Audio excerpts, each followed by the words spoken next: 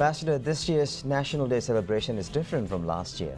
There's more than Machu Picchu when it comes to uh, Peru because you're bringing the band for Thai audience as well. Tell us a bit about you know the celebration this year.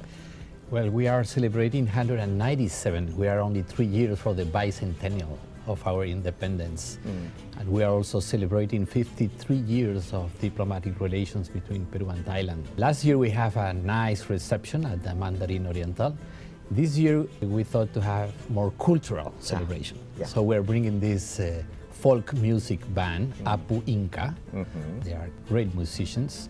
It's a small group, by, by the way. It's only four, but they are very good.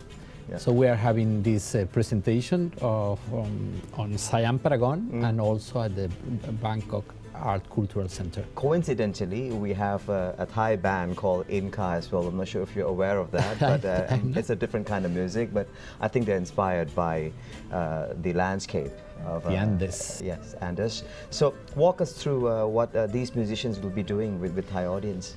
Well, first on Wednesday the 25th, they will have a workshop at the Mahidol Music uh, Center School. This is one of the best, and they will exchange experience, uh, instruments, and they will play together. Next day, Thursday, Yeah. uh, we'll uh, open a photo exhibition. We will display beautiful photos, interesting photos about Peru, Yeah. including very nice photos of uh, Machu Picchu 100 years ago. Oh, Because were those photos taken by Hiram Bingham in 1911 Yeah. and were the, the first photo that disclosure Machu Picchu to the world. Wow. Uh, they were first published by the National Geographic magazine in 1912 and 1913. Yeah. So we are uh, exhibiting the photos and we have Apu Inca playing music uh, on that occasion. So the photo exhibition will be open since 26 until the 29th. And each day we'll have different activities. That same afternoon we'll move in neighboring place to the Bangkok Art Cultural Center mm-hmm. for a concert. We will also have in the sixth floor a small photo exhibition mm. of two young Peruvian photographers mm-hmm. called Peru. It's more black and white, mm. more uh, mystical, mm-hmm. showing uh, the very interesting side of Peru.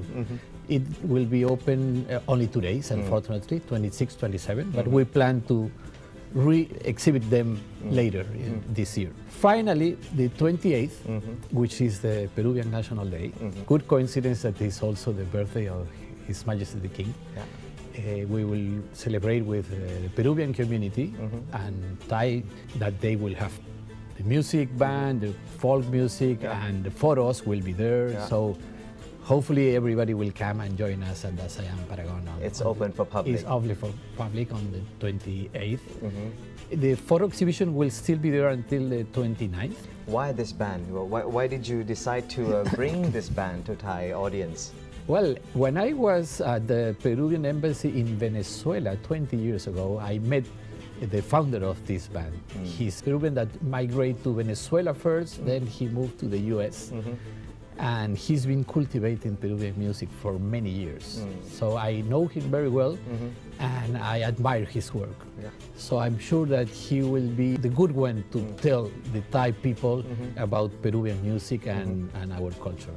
-hmm. Double celebration for Peruvians in Thailand. Absolutely. National Day and also Our Majesty the King's birthday celebration as well. Absolutely. Thank yes. you very much for your time, Ambassador. No, and thank wish you, you all the best. Thank you, Varin. Thank you. It's a pleasure. Thank you. Thank you so much. ขอบคุณครับขอบคุณครับ